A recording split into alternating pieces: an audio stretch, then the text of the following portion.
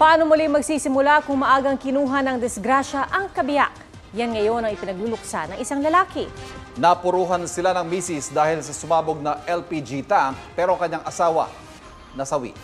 Nakatutok si Jamie Santos, exclusive. Hi, Eliza Marisol Rosco. Love, love. My soon-to-be wife. I promise to love and honor you for the rest of my life. Together, we will go in unity. Together, we will fulfill our dreams.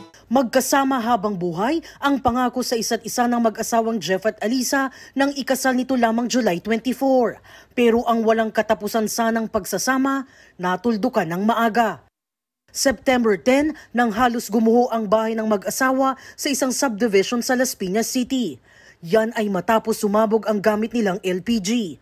Kwento ni Jeff, magpapakulo sana ng tubig si Alisa nang biglang sumingaw at sumabog ang tangke ng gas.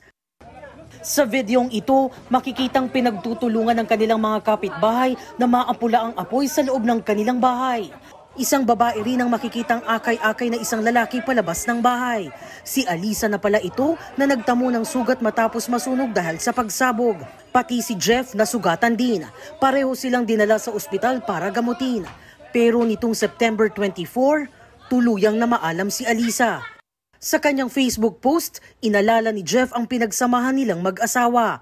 Hindi raw alam ni Jeff kung malalampasan niya ang pagsubok na ito. Pero ang mahalaga ay hindi na mahihirapan ang asawa. At ang pangako ni Jeff, itutuloy ang kanilang pagmamahalan sa kabilang buhay. Jamie Santos, Nakatutok, 24 Oras.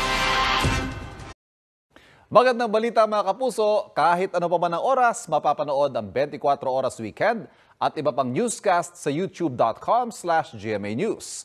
I-click lamang ang subscribe button. Sa mga kapuso abroad, maaari po kaming masubaybayan sa GMA Pinoy TV at www.gmanews.tv.